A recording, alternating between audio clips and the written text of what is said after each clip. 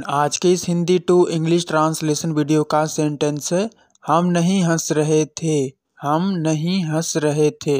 तो चलिए हम इस सेंटेंस को इंग्लिश में ट्रांसलेट करते हैं। अंत में है, रहे थे, यदि सेंटेंस के अंत में रहा था, रही थी, रहे थे, आता है। इस तरह का सेंटेंस ट्रांसलेट होता है पास्ट कंटिन्यूस टेंस के नियम से। ये नेगेटिव है।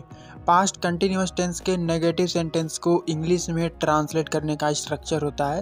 पहले सब्जेक्ट सब्जेक्ट इसमें हम हम की इंग्लिश वी वी के साथ तो वर लगता है, उसके बाद नॉट लगाएँगे, फिर वर्ब का I N G form verb इस सेंटेंस का हंस रहे थे। हंसना की इंग्लिश लाफ लाफ का आई एन जी फॉर्म होता है laughing we were not laughing हम नहीं हंस रहे थे। इसकी इंग्लिश है we were not laughing we were not laughing तो दोस्तों, मिलते हैं इसी तरह के और भी हिंदी टू इंग्लिश ट्रांसलेशन के नेक्स्ट वीडियो में नए सेंटेंस प्रैक्टिस के साथ। Thank you for watching